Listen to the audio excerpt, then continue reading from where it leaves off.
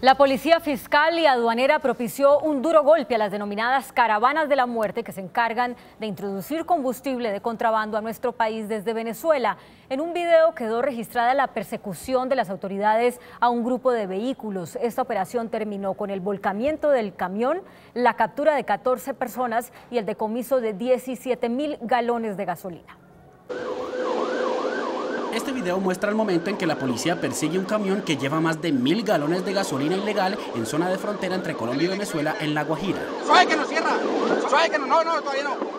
El conductor del camión, que forma parte de una de las denominadas caravanas de la muerte, hace hasta lo imposible por huir, pero pierde el control, impacta varios vehículos en la vía y se vuelca violentamente.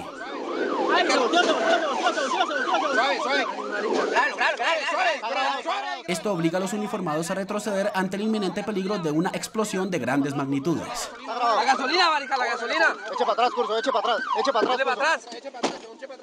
Aunque el conductor del camión intentó huir, metros más adelante fue capturado junto con tres de sus cómplices que iban en otros tres vehículos. Ellos tienen un centro de acopio en la Majayura, al sur de La Guajira. Es una zona boscosa de injerencia de dos frentes de las FARC los cuales cobran cuota para permitir estos pasos.